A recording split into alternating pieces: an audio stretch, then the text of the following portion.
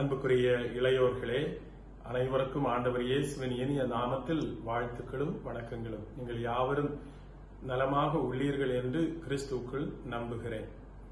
இணைந்து நாம் நிகழ்வுகளில் பங்கேற்க இயலாத இந்த நிலையில் ஊடகங்கள் வாயிலாக நாம் சந்திக்கின்றோம். உலகமே கொரோனா தொற்று நோய்க்கு நோயினால் அச்சுறுத்தப்பட்டிருக்கிறது. நம்முடைய நாடும் அந்த அச்சுறுத்தலுக்கு உட்பட்டிருக்கிறது. இத்தருணத்தில் நம்முடைய நாட்டில் அரசும் சுகாதாரத்துறையும் எடுத்துக்கொள்ளுகின்ற எல்லா முயற்சிகளுக்கும் நாமும் ஒத்துழைக்க வேண்டும். நம்மால் என்ற உதவியையும் செய்ய வேண்டும். இத்தருணத்தில் வீடுகளில் முடங்கி இருக்கும்போது நம்முடைய ஜெபங்களை தவறாமல் சொல்லவும் குடும்பத்தில் வீடுகளில் பெற்றோரோடு இணைந்து ஜெபிக்கவும் முயற்சி செய்யுங்கள்.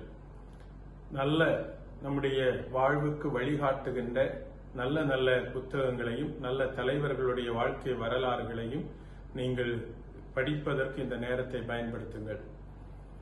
ஒவ்வொரு நாளும் மாலை எட்டு மணிக்கு நாம் அனைவரும் இணைந்து ஜெபிப்போம். கொரோனா தொற்று நோயிலிருந்து நம்முடைய நாடும் உலகமும் விடுதலை பெறுவதற்கு இளையோர்களாகிய நீங்கள் இணைந்து ஜெபியுங்கள். ஒவ்வொரு நாளும் இரவு எட்டு மணிக்கு இந்த ஜெபத்தை இணைந்து சொல்லுவோம். நாம் அகன்றிருந்தாலும் உள்ளத்தால் இணைந்திருந்து ஒன்றுபட்டு செயல்படுவோம்.